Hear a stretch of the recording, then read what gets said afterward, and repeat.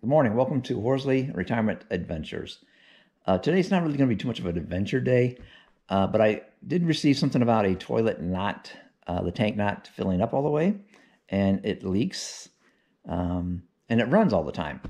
So I just wanted to go over how to fix a running toilet real quickly for everybody, anybody that wants to know, and I'll show you uh, how to fix that and it's not like back in the old days where your dad and um, your mom would say, just wiggle the toilet or push the handle up and down and it'll stop running.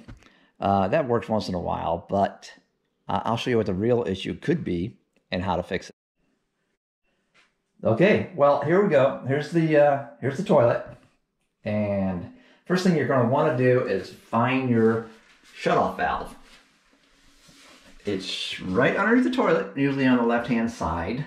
Um, it could be on the right hand side, but the majority of them are on the left hand side.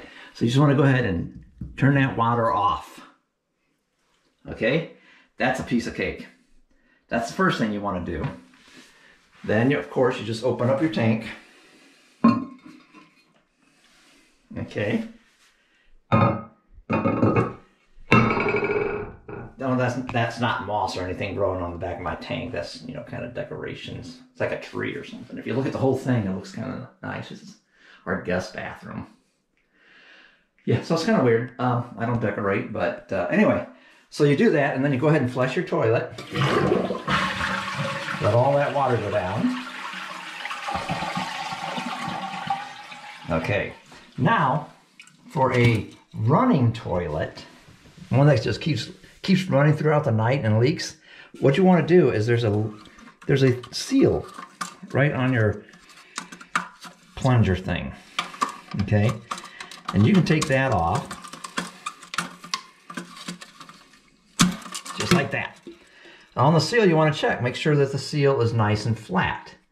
On this one, a while back, there was like a little bubble, like almost like a pimple right here. And so uh, what I did is I just went ahead and popped that with my finger because they sometimes will get like a little blister in these seals. So I popped that. So check that to make sure that that's nice and flat. If you got a bump on it, just squeeze that bump and let that uh, let it go flat again. That's this could be one of the main reasons why your toilet keeps leaking. It doesn't set all the way when you lay it down like that. All right. This is one of the first things you want to check is this seal. Okay, once you get your seal back on there, go ahead and turn your water back on and let it fill up, like I already done that. And then you'll see that a line right here, and it says water line right there. You want your water to be right there or right above it. Now, it is not like there, then you can adjust your float. Now, your float has a little screwdriver thing right at the tip of it. You can do it by hand clockwise and that will actually lower your float which would also keep your water level lower. Now if it's coming over the water, if the water's coming over like it is right there, then you gotta you gotta lower that float to stop that water from doing that. And that's what you do this with. You just lower that float. And we'll just go a little bit. Let her go down, everything seals, and you watch your float go up. And that's what's going to shut your water off. And you want it to go right at that water level. See how your float's moving up.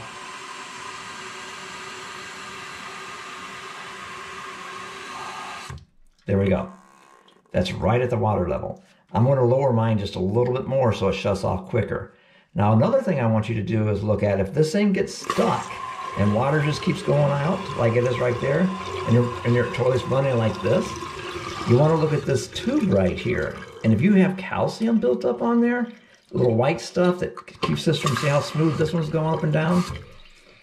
If it's getting stuck up and down on that, there could be some calcium built on that. Use some kind of 409 or some calcium cleaner, scrubbing bubbles, whatever you have to clean that off. And you can actually use a toothbrush and clean that calcium off to keep this nice and smooth. Okay, so that's about it. Thanks for watching. If you have any other questions, feel free to comment. Thank you. Have a great day.